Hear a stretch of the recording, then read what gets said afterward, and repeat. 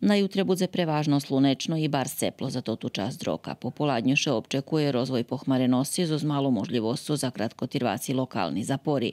Ranša temperatura bude od 12 po 15 stupnji, a najviša dňova od 25 na siveru po 27 stupnji na juhu Vojvodini. Na stredu bude slunečno i ceplo s popoladnjovim rozvojom pohmarenosti i kratkotirvacima lokalnima zaporami s hirmenjom. Dňova temperatura bude od 26 po 29 stupnji. Po konjec týždňa zatrimaše podobna ljem na pijatok budze za daskeľo stupnji švižejše.